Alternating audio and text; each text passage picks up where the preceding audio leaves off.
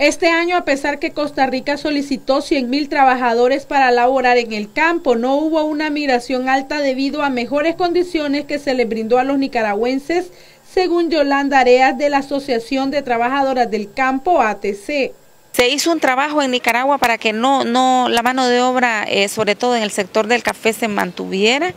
Eh, creemos, ¿verdad?, que el porcentaje que pudo haber salido fuera del país fue mínimo porque se negoció con los empleadores porque al final planteábamos, en la medida que se mejoren las condiciones para las trabajadoras, eh, y, a, nivel general para los trabajadores, pues en esa medida no van a, salir fuera del país, porque si tenés mejores condiciones en tu país, pues te quedas. Entonces, eh, se logró trabajar ahí una negociación directa con los empleadores, aunque sabemos que los precios del café bajaron a nivel internacional.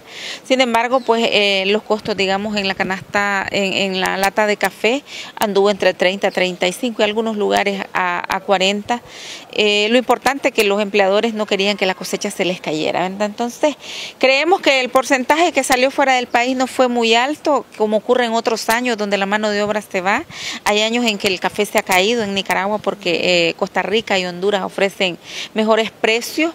La Asociación de Trabajadores del Campo continuarán velando los derechos de las mujeres según Areas. Bueno, primero eh, decirles que eh, a nivel general la ATC tiene una agenda en materia laboral bastante amplia que tiene que ver con el salario, con el seguro social, eh, con el tema de la canasta básica, ¿verdad?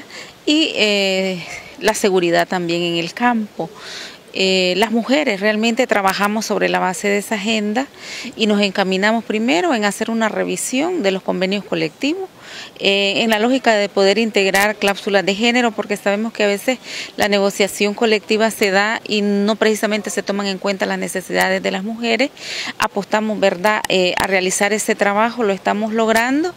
estamos también avanzando en el diálogo social. Para Noticias 12, Castalia Zapata.